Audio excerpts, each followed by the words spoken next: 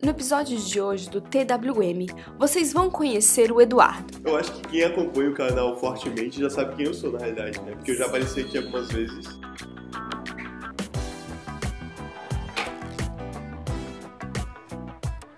Então, O Eduardo é um estudante de engenharia de computação e ele é o criador dos Eletroblocks. E por que tu teve essa ideia, assim? Que isso tem a ver? Hoje ele vai compartilhar com vocês um pouco dos desafios que ele teve para construir a sua empresa e como ele tornou um produto comercial em um trabalho de conclusão de curso. Nos TCC e nos Eletroblocks Empresa. Já vai começar mais um episódio do Você Talking disse que seria uma entrevista, então eu estou aqui para responder. O Eduardo ele está construindo os eletroblocks. Eduardo, que são os eletroblocks? Explica um pouquinho aqui pra gente. De forma técnica, os Eletroblocks são módulos que se encaixam e conseguem ensinar crianças e jovens conceitos da eletrônica. Agora, de forma mais resumida, eles são como uma espécie de Lego que se conectam, mas esses Legos são eletrônicos. Então é como se tu pudesse conectar uma bateria e um LED de uma forma que eles se encaixam. Não precisar soldar, não precisar de ferramentas auxiliares para fazer esses dois componentes funcionarem. Então os Eletroblocks vêm com essa proposta de tornar os componentes eletrônicos mais fáceis e seguros para crianças e jovens manusearem e conseguirem aprender coisas relacionadas à eletrônica. E essa ideia que tu teve, é a ideia de- dos eletroblocks, ela surgiu por conta do teu TCC ou ela surgiu um pouco antes? A ideia dos Eletroblocks ela surgiu bem antes de eu começar o meu TCC. É, mesmo o TCC 1, né? Porque o TCC na engenharia é dividido em três etapas. Tem o TCC 1, o 2 e o 3. E mesmo antes do 1, a ideia dos Eletroblocks já tinha surgido. Foi aqui dentro do Light, com um outro projeto que estava em andamento aqui dentro do Light, chamado Light Blocks, que o André ele tinha criado bloquinhos assim de madeira mesmo, que se conectavam através de fios jacarés. E daí eu achei aquilo interessante, comecei a evoluir dentro daquela ideia, até que surgiu os Eletroblocks, que é desenvolver componentes eletrônicos modulares. Então, depois disso, tu decidiu tornar esse teu produto, né, uma coisa que seria tua empresa, alguma coisa que tu iria tocar pra frente no mundo do empreendedorismo para se tornar o teu TCC. Isso. E por que tu teve essa ideia, assim, o que, que isso tem a ver, um produto que tu tá desenvolvendo para o mundo comercial, se tornar o teu TCC? Que valor tem isso? Quando eu tava com a ideia dos Eletroblocks, eu também tava super na pilha, assim, de entrar no mundo do empreendedorismo, porque eu tava recebendo diversos e-mails da própria Univale sobre eventos de empreendedorismo que tava tendo, sobre concursos de empreendedorismo. O primeiro que eu me candidatei foi o do Santander. E eu me candidatei com uma ideia de abrir um espaço maker. Porque na época, inclusive hoje eu ainda tenho essa vontade, mas na época era bem mais forte, porque os Eletroblocks ainda não estavam tão evoluídos assim eu tinha, ideia, eu tinha vontade de abrir um espaço maker e submeter essa ideia para diversos concursos de empreendedorismo. Só que nenhum desses concursos que eu participei aceitou essa ideia como uma ideia inovadora. Né? Eles não se encaixavam muito bem na ideia do concurso. E daí eu pensei, tá, agora que eu já submeti essa ideia para diversos concursos e não foi aceito, eu vou tentar então jogar a regra do concurso e falar o que eles querem ouvir e mandar o que eles querem. Que eu sabia que eles queriam um produto e não só, tipo, abrir um, um, um local, entende? Não um serviço, né? É, eles realmente queriam um produto, não um serviço, exatamente. Então eu submeti os Eletroblocks. Mas na época os Eletroblocks não era a minha vontade principal. A minha vontade principal era realmente abrir um espaço maker. E daí ele foi começando a ser aceito em alguns concursos. Um concurso bem importante, inclusive, que foi o Sinapse da Inovação. E ele é um concurso bem grande, que dá fomento para ideias inovadoras. E quando eu fui aprovado com os Eletroblocks, eu comecei a evoluir por consequência dos concursos, né? Eles exigiam coisas, tipo, ah, conte mais sobre essa ideia, é, conte pesquisa sobre essa ideia. Teve que passar por diversas etapas com os e isso fez com que ele fosse evoluindo e a minha paixão por ele também. E aí, quando ele já estava numa fase bem, digamos, é, encaminhada, assim, que eu já sabia o que eu queria com os Eletroblocks, que eu queria tornar ele um produto real, foi onde eu tive que submeter o meu primeiro TCC. E daí eu pensei, cara, eu posso unir o útil ao agradável, né? Já que eu tô trabalhando tanto nos Eletroblocks, eu tô gostando tanto disso, eu posso tentar transformar isso nos- no, meu TCC. E daí foi aprovada a, a ideia e agora eu tô trabalhando nos Eletroblocks TCC e nos Eletroblocks empresa, TCC, é, Eletroblocks, né? E trazer os eletroblocks, que ele é um produto comercial, é algo da tua empresa que tu está construindo, para o mundo acadêmico. Que tipo de ganhos que tu encontra nessa conexão? Diversas vezes quando eu tô escrevendo meu TCC, assim, quando eu tô pesquisando sobre os Eletroblocks para o TCC, eu fico pensando, cara, que massa que eu tô fazendo isso agora. Porque eu teria que fazer isso um dia, né? Porque se eu não fizesse, com certeza eu iria sofrer com isso. Por exemplo, no TCC a gente tem que responder coisas bastante técnicas sobre, o nosso, sobre a nossa ideia. Então, consequentemente, eu tenho que escrever coisas bastante técnicas sobre os Blocks. E isso exige eu estudar muito eles e conhecer muito eles profundamente, sabe? Saber cada pecinha que está sendo utilizada, saber como que está sendo, o porquê que eu utilizei aquilo, quais eram as alternativas que eu teria para usar e por que, que eu escolhi aquela, justificar o motivo de todas as escolhas. Isso, querendo ou não, é tentar convencer a banca avaliadora que o meu trabalho é um bom trabalho. E se eu conseguir convencer eles que o meu trabalho é um bom trabalho, depois convencer o público de que é um bom produto, eu acho que vai ser mais ou menos a mesma vibe, sabe? Então, acho que se torna um pouco mais fácil. Então, Eduardo, agora saindo um pouquinho do mundo do TCC, da academia e tudo mais, e vamos voltar um pouquinho para o Electrobox empresa. Eu sei que desde a última vez que a gente gravou o vídeo, onde os Electroblocks tu tinha construído o primeiro protótipo deles, que estava funcionando e tu conseguiu dar para algumas crianças brincarem, esse projeto ele modificou quase completamente. Ele já é uma coisa muito diferente, os bloquinhos estão super diferentes e até bem mais profissionais. Eu acredito que hoje o Electroblocks ele é muito mais parecido com um produto onde tu realmente vai colocar no mercado do que um protótipo feito mais ou menos assim. No TCC, o que era esperado é que eu entregasse protótipos dos meus módulos que mostrassem qual é o conceito da ideia e mostrassem eles funcionando realmente, né? Mostrando como que é a minha ideia que eu tinha desenvolvido, que eu tinha pensado lá no TCC1 foi desenvolvida e tudo mais. Só que um objetivo pessoal meu era conseguir fazer até o TCC uma versão é, que estivesse um pouco mais próxima da versão profissional e, e comercial dos Electroblocks. Então, durante o desenvolvimento da terceira etapa, eu busquei algumas formas de conseguir, de conseguir transformar os Electroblocks em um produto real. A minha ideia era, inclusive, conseguir vender alguns protótipos, algumas caixinhas de kits já no dia da apresentação. Isso não vai acontecer, né? não vou conseguir vender no dia da apresentação, só que eles estão bem próximos de serem vendidos. Eu já vou ter em mãos, no dia da minha apresentação, a versão final, assim, comercial do meu, do meu produto. E é muito diferente uma versão comercial do que uma versão, tipo, acadêmica, digamos assim, um produto. Porque quando tu vai pensar em vender, tu tem que pensar em escala. E tu tem que produzir aquilo lá em escala. E o fato de ter que produzir aquilo em escala envolve uma série de modificações que vão ter que existir no teu produto. Porque é muito fácil, digamos assim, tu construir um robô e daí, ah, eu vou usar essa, esse LED aqui para acender aqui, eu vou usar esse componente para fazer isso aqui, vou usar essa coisa aqui, e ele vai mexer a perna desse jeito. Só que quando tu vai transformar isso em um produto e tu pensa que tu vai ter que produzir, sei lá, 100 robôs daquele mesmo jeito por dia, digamos assim, tu vai ter que usar componentes que sejam é, feitos para uma produção em escala. Então, as máquinas que produzem aquele robô, digamos assim, eles vão ser trabalhar com rolos de componentes. Então, tu tem que adaptar todos os teus componentes que tu usou para componentes que possam ser usados em grande escala. E é isso que aconteceu com os Electroblocks. Eu tive que modificar ele, digamos, por completo para se adequar a um estilo de módulo que pudesse depois ser comercializado em escala. Isso envolve custos, eu não posso usar componentes que vão deixar meu produto muito caro, eu não posso usar componentes que ah, sejam muito difíceis de encontrar no mercado, eu tenho que sempre optar pelos mais baratos e que atendam os requisitos do meu produto. Então, são diversas escolhas que a gente tem que ir fazendo e eu tive que fazer essas escolhas durante o TCC e agora eles já estão com uma carinha bem mais comercial, digamos assim. Só que eles ainda não estão prontos porque ainda faltam alguns detalhes finos que eu vou fazer nessas últimas semanas para apresentar. Sim, eles mudaram bastante do que eles eram antes para o que eles estão agora. Agora eles estão bem mais numa cara comercial do que uma cara acadêmica, digamos assim. E todos os problemas, todas as coisas que tu construiu, tu construiu tu mesmo, assim, fazendo com as próprias mãos?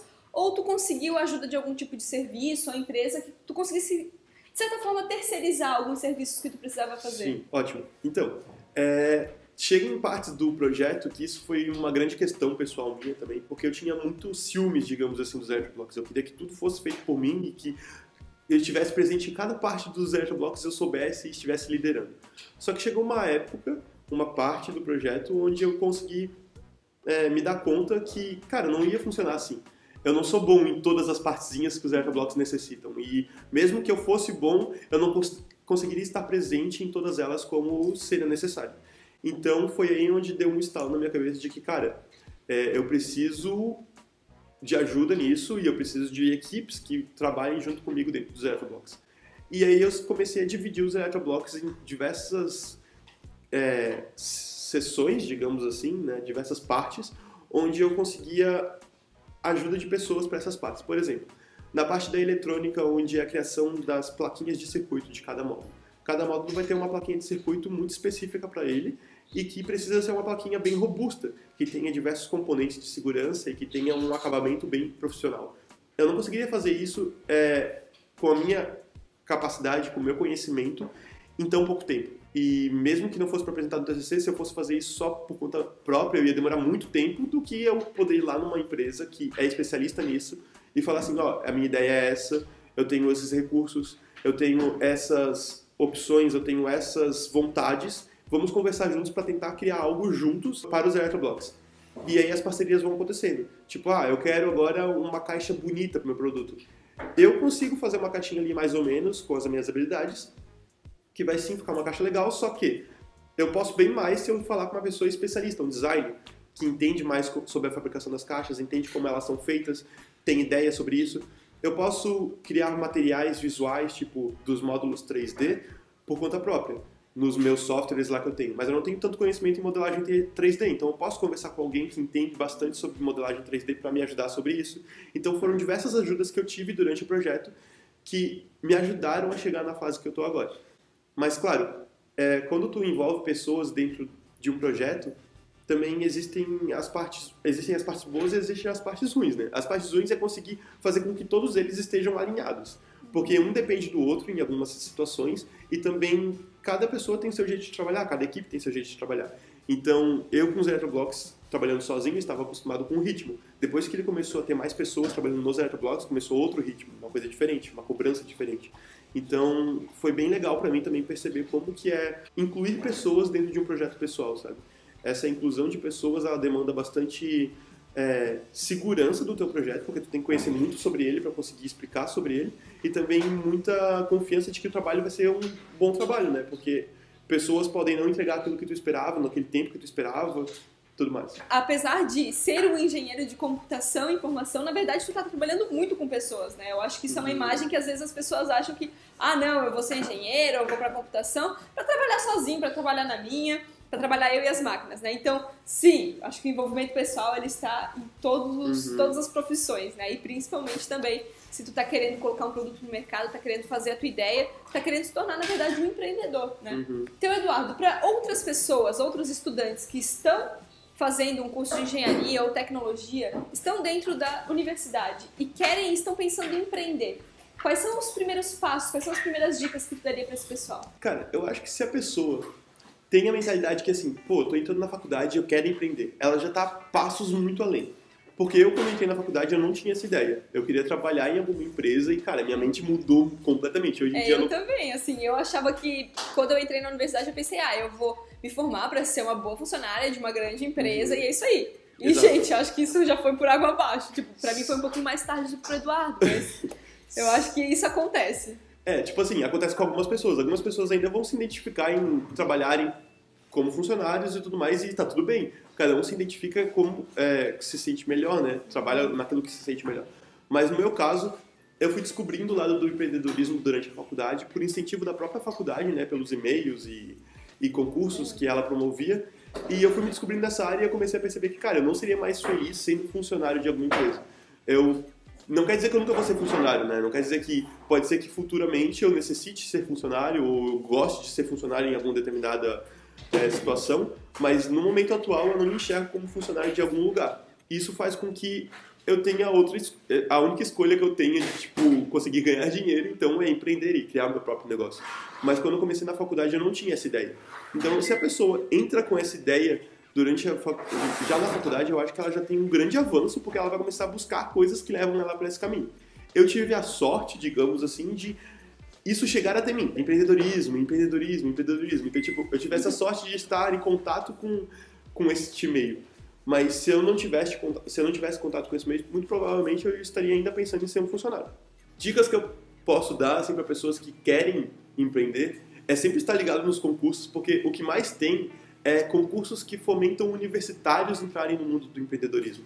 É, então, assim, se tu, se tu é universitário, se tu ainda está fazendo faculdade, provavelmente tem algum concurso rolando sobre empreendedorismo, algum concurso sobre ideias inovadoras na tua região. Ou É, então... tu não tá por dentro porque, sei lá, tu não tá pesquisando sobre isso. Porque, na Isso. verdade, tem muito em todo lugar, tem muito incentivo. E eles querem muito que os estudantes de universidades levem as suas ideias inovadoras, sejam quais quer que sejam, para o mundo é, do empreendedorismo, digamos assim, né? Porque, querendo ou não, é na universidade onde grandes ideias surgem, né? Tipo, a, a universidade tem um, um poder, assim, de é, inovação muito grande, só que ela ainda não é utilizada de forma muito correta. Existe muito fomento para o empreendedorismo dentro da universidade e quem quer isso mesmo, quem quer entrar dentro do empre- empreendedorismo, nem que seja só para descobrir como que é e testar, vai que eu me identifico e tal, fica ligado que sempre vai ter algum concurso e se tu não estiver recebendo pela pró- própria universidade, eu acho que vale uma pesquisa aí que provavelmente vai estar rolando ou então o edital vai estar aberto daqui a alguns meses e tudo mais,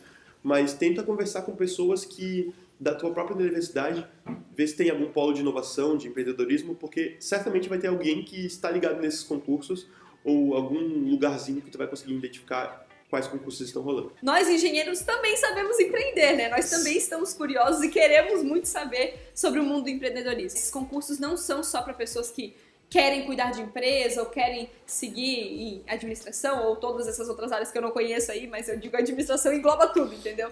Tipo, ser um empresário. É, nós, engenheiros, também podemos ter esse papel. Acho que é uma das, um dos vários papéis que abre para quando tu faz um curso de engenharia, porque muitas vezes o pessoal que tá entrando acha que, tipo assim, ah, eu vou ser engenheiro para trabalhar com tal coisa. É tipo, eu vou ser dentista pra arrancar dente. Não, calma, um dentista pode fazer muitas outras coisas. Assim como um engenheiro. Tipo, tu vai ser engenheiro, tu vai se formar como engenheiro, tu pode ser muita coisa. Tu pode ser quem você quiser. Barbie Girl. E esse concurso, ele não é aberto só para engenheiros, ele não, ele não regra quem pode se candidatar É. a esse concurso. Então, tipo, se tu tá fazendo psicologia e tu quer se candidatar para esse concurso porque tu tem uma ideia inovadora dentro da psicologia, ou mesmo não dentro da, da psicologia, tu pode, entende? Então, quando tu entra dentro desse concurso, tu acaba conhecendo diversas pessoas de diversas áreas, com diversas ideias, e eu acho que é isso que fez o estalo na minha cabeça, sabe? Quando eu percebi o quão diferente eram as coisas que rolavam dentro do mundo do empreendedorismo e quão mais legal eram pra mim aquilo lá. E existem diversas pessoas de diversas áreas, diversas ideias, e é muito massa con- conseguir ver essas ideias e o quão é, di- diverso é o mundo do empreendedorismo, né? Porque o primeiro concurso que eu participei, eu tinha a ideia de que só pessoas, assim, de exatas iam participar. E eu quebrei a cara. Quando eu cheguei lá, na realidade, os melhores, assim, sabe? Os que estavam mais, tipo, os melhores em venda, os melhores em, em se comunicar, eram pessoas que não eram da exatas. Mas, claro, existem pessoas da exatas que estavam lá, né? Tipo, eu tava lá, então eu também sou de exatas, estava lá e tava Fazendo a parte lá. tava fazendo a minha parte, mas a gente tem muita troca, sabe? Tipo, tem muito o que a gente aprender com as pessoas que estão lá. Tem pessoas que estão no mundo do empreendedorismo há um bom tempo já e já tem, sei lá, duas empresas rodando, sabe? Existe isso dentro do- desses concursos. E daí, no começo, eu até me sentia, putz, eu sou um novato aqui, não conheço de nada. Mas, na realidade, é... que bom que eu era um novato, porque eu tinha muito o que aprender lá dentro e que bom que eu tava em- dentro daquele universo, sabe? Eduardo, foi um prazer te receber aqui no meu canal. Eu tenho certeza que o pessoal gostou bastante. Vocês podem deixar aqui nos comentários algumas perguntas para Eduardo, ele também, eu sei que ele acaba lendo ali os comentários, a gente pode ir respondendo sobre o mundo do empreendedorismo, sobre a profissão mesmo de engenheiro de computação, que logo logo ele também vai se tornar engenheiro, vai ter aí seu diploma e seu título. Mas é, parabéns pelo projeto, parabéns pelos Eletroblocks. Nós estamos doidos para ver aqui no canal Eletroblocks né, nascendo e eu quero receber um press kit do Eletroblocks para fazer vários tutoriais e vários projetos com vocês aqui no canal. E se vocês querem também, só deixar aqui embaixo. Hashtag quero Eletroblocks! Depois, eu acho que depois de apresentar o TCC, eu quero voltar aqui pra apresentar como que o kitzinho tá e, tipo, mostrar todo ele, fazer uma propaganda, né, obviamente, É, do sim, Zé né? Blocks. Mas sim, eu quero mostrar, tipo, como que vai ficar e eu acho que eu tô bem, eu acho não, eu tô bem orgulhoso de como eles estão ficando. Lá no meu Instagram eu vou compartilhar um pouco de como tá os Eletroblocks. Eu criei até um destaque lá pra Eletroblocks, mas eu não coloquei nada ainda porque eu ainda tô acabando eles. Quando eles estiverem bem bonitinhos e tudo mais, daí eu vou mostrar, tipo, como que Vou divulgar também a página dos Electroblocks, que vai ter uma página dos Electroblocks pro Instagram próprio deles, né? Então, quem quiser saber mais sobre os Electroblocks, vai ter site também e tudo mais. Mas aí me sigam no Instagram, que quando isso for lançado, vocês vão saber. Espero que vocês tenham gostado desse Talking with the Makers muito especial, porque o Eduardo ele é um grande maker, incrível estudante e um maravilhoso empreendedor. Nossa, quantos adjetivos! Tu esqueceu de ótimo amigo. Ótimo amigo! ah, e obrigada a todos vocês que estão assistindo também. Espero que tenham gostado de conhecer mais um pouquinho do Eduardo. Inclusive, estava com saudade de vocês, porque o feedback de vocês, quando eu apareço, é bem legal. Eu me sinto feliz quando eu leio as coisas É que uma vocês honra, né? escrevem. É uma honra. Sim, a galera Então- de vocês. Sabe aqueles apresentadores quando vão, ah, é uma honra estar aqui com essa plateia linda? é quase a mesma coisa. Então, obrigada, Eduardo, por participar aqui do canal mais uma vez. E é isso aí, agora só dá tchau pra galera, porque Tchau, gente. Tchau!